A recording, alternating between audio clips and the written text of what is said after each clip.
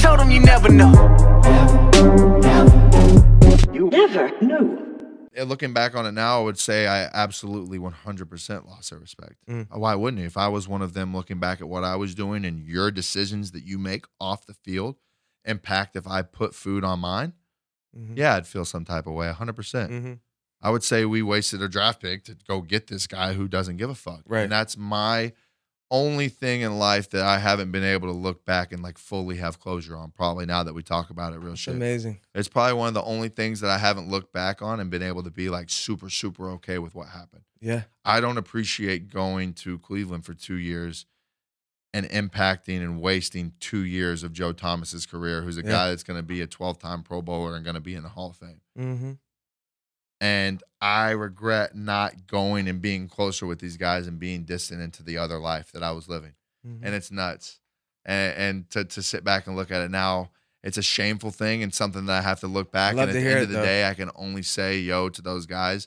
And I feel like I've told them over the past couple years, Yeah. like I've got to the point where I've hit like clarity and I went and did Joe's podcast. I still talk to Joe Haden and some of these guys that were like foundation members of the Browns during this time because I think we had the talent to do it, but we had a Mm-hmm. young, a bad mix of people and a point to where I got to where I didn't give it everything I had to to everybody else. Mm-hmm.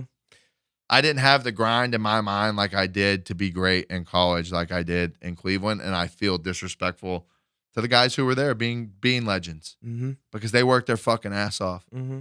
And at, At the this- end of the day, it's it's more than just one player, and I think it's a whole thing. I think it's camaraderie on the team, the whole deal from top to bottom, and the whole and the whole organization. We just obviously didn't have it, but I think I was a founding founding like part of that, and the whole thing didn't go the way it should, and it's it sucks, and that's probably the only thing that I look back on and say Yeah. that I feel bad for through the whole thing.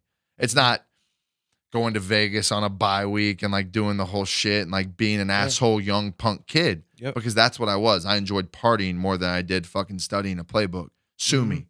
I can. Yeah. look back now today and say it was the wrong decision to make.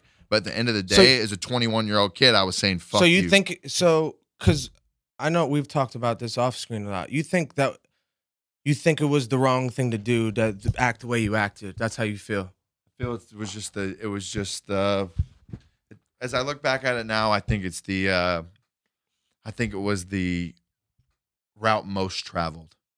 I think it was the path like most taken. I think if you dropped anybody in my position, they would have done what I did. Yeah. I think it would have been manlier. I think it would have been more goaded Yeah. and, and more legitimate to uh to do it the other way and, and make the most of, of the talent of the whole thing and and and treat it with more respect than I did for sure. Mm-hmm. But at the end of the day, I think I had a mindset that I still have a piece of today, by the way. A lot of this hasn't changed. The one thing I will look back and say is I didn't change up for fucking anybody. It wasn't the, the That's what I'm getting at. it wasn't the Some it wasn't the GM of the Browns, the owner of the Browns coming me and say, "Hey, come here and do this for a while," and I would just say no.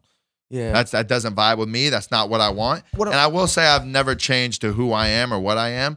But the biggest thing is I've accepted it for what it is. I am who I am. I'm gonna tailor bit and make parts of my game better that- that- in life. right.